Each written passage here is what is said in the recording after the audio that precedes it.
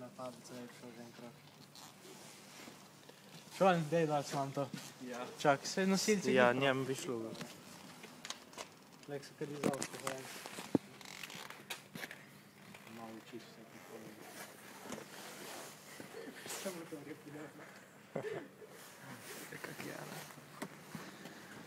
Ajmo še tako več jede. Tako lahko je prki. Ampak gledaj se ni, kako bi jih mašino. A ti bo mat velika. Ok, zdaj lahko rečeš, kaj češ. Zdaj lahko first.